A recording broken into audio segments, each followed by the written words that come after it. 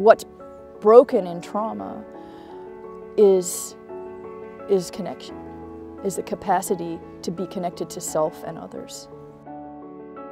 The word trauma can be very ambiguous and, and uh, when we use it in relation to climate change, it, I would rather take that word and kind of put it over here and look at um, how people's experiences of climate change show up in their nervous systems. Somatic experiencing is an applied psychobiological approach to traumatic stress. So I'm developing a way of analyzing um, uh, interviews and the gestural space uh, that of the interviewee and interviewer that includes sensory, gestural, proprioceptive, and interoceptive layers, and that's based on somatic experiencing models.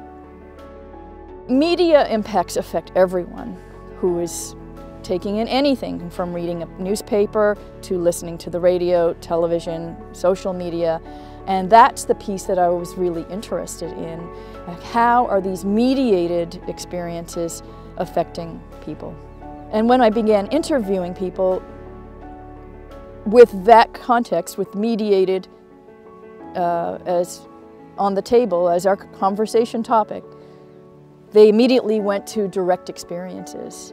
And uh, so in Atlantic Canada, people are noticing directly climate change related um, changes uh, to the ecosystems that they're living in. They may have anxiety symptoms. There are a range of different responses to threat and to, to uh, traumatic experience that show up in these ways that stuck in patterns in the nervous system. And usually that happens because uh, a person was not able to, uh, to stay present safely and self-protect. So their self-protective instincts and movements, and um, which are based in reflexes in the autonomic system, have been interrupted. But the, but the charge and the impulse to self-protect is still there.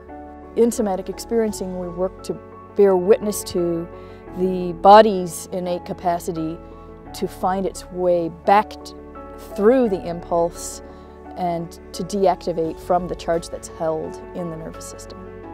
I'm discovering that there's a relationship between the direct impacts and perceptions that Atlantic Canadians are having, having and, and these indirect mediated experiences.